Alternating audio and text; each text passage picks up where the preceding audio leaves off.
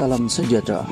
Kadir Saman Alif Syukri RM 70 juta. Kuala Lumpur, bekas Menteri Kebudayaan, Kesenian dan Pelancongan.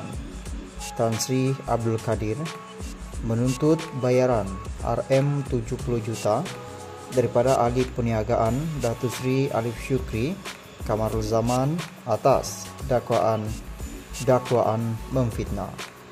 Abdul Kadir 84 menerusi saman difailkan selaku plaintiff terhadap ahli perniagaan itu sebagai defendant pada 6 September 2023 berkata Alif Syukri 37 mengeluarkan kenyataan fitnah di Instagram dan Facebook pada 2 Julai tahun sama.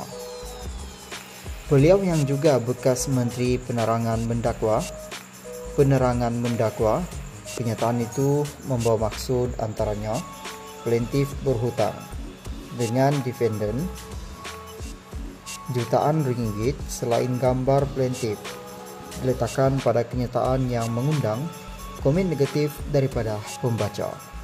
Selain tuntutan RM 70 juta, bekas menteri itu meminta ganti rugi yang dinilai mahkamah dan perintah supaya defendant memberi aku janji bertulis tak akan menyiarkan sebarang fitnah terhadap plaintiff serta permohonan maaf tanpa syarat disiarkan di akaun media sosial usahawan terbabi selama tujuh hari.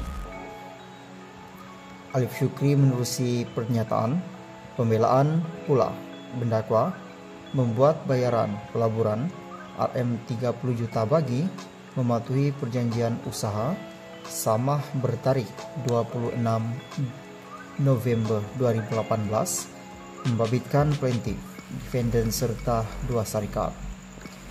Pihak-pihak dalam perjanjian usaha sama gagal membuat pembayaran uang dilaburkan, sayah dan segala pelanggaran janji sedemikian termasuk aku janji diberikan kepada saya adalah dalam pengetahuan plaintiff sendiri katanya.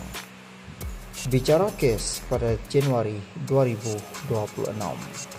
Ketika prosiding hari ini, Mahkamah Tinggi menetapkan perbicaraan kes saman itu selama tiga hari pada awal 2026.